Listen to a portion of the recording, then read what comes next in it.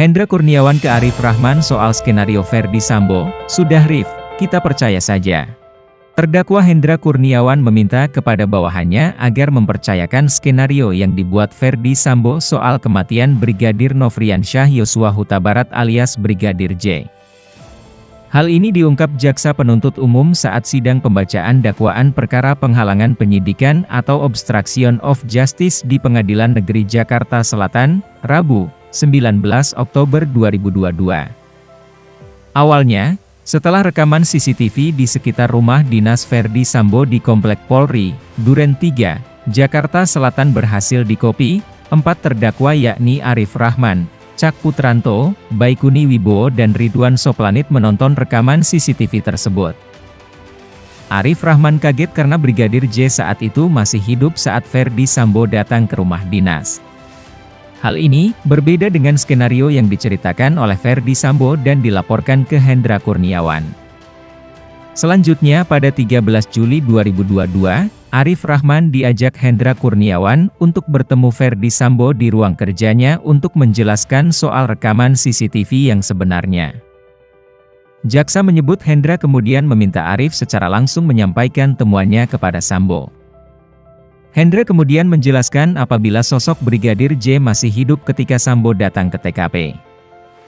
Temuan ini berbeda dengan pernyataan mantan Kapolres Metro Jaksel Kombes Budi Herdi dan Karopenmas Humas Polri Brigjen Ahmad Ramadan yang menyebut peristiwa tembak-menembak terjadi sebelum Sambo datang ke rumah dinas.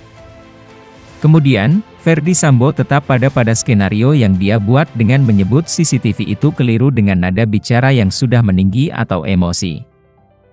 Verdi Sambo selanjutnya memerintahkan mereka agar tutup mulut dan tidak membocorkan temuan CCTV itu. Setelahnya Sambo menanyakan di mana salinan rekaman CCTV tersebut.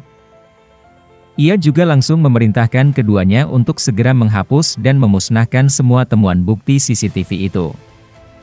Selama proses tersebut, jaksa mengatakan Arif tidak lagi berani menatap Sambo dan hanya menunduk sembari mendengarkan perintahnya. Melihat tingkah itu, Sambo kemudian menanyakan kenapa Arif tidak berani menatap dirinya, padahal ia sudah diberitahu peristiwa yang menimpa Putri Chandrawati. Dalam hal ini, Hendra didakwa melanggar pasal 49 Yungto pasal 33 subsidiar pasal 48 ayat 1, Yungto pasal 32 ayat 1. UIT nomor 19 tahun 2016 dan atau pasal 233 KUHP subsidiar pasal 221 ayat 1. Kedua Yungto pasal 55 KUHP.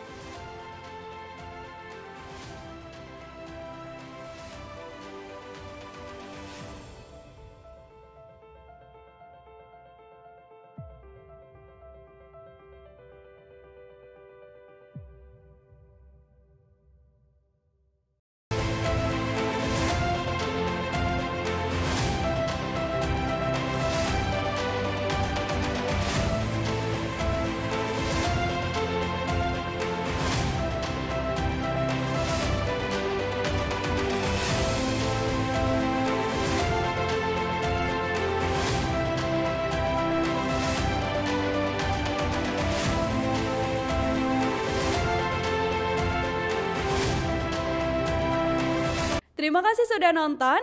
Jangan lupa like, subscribe, dan share ya.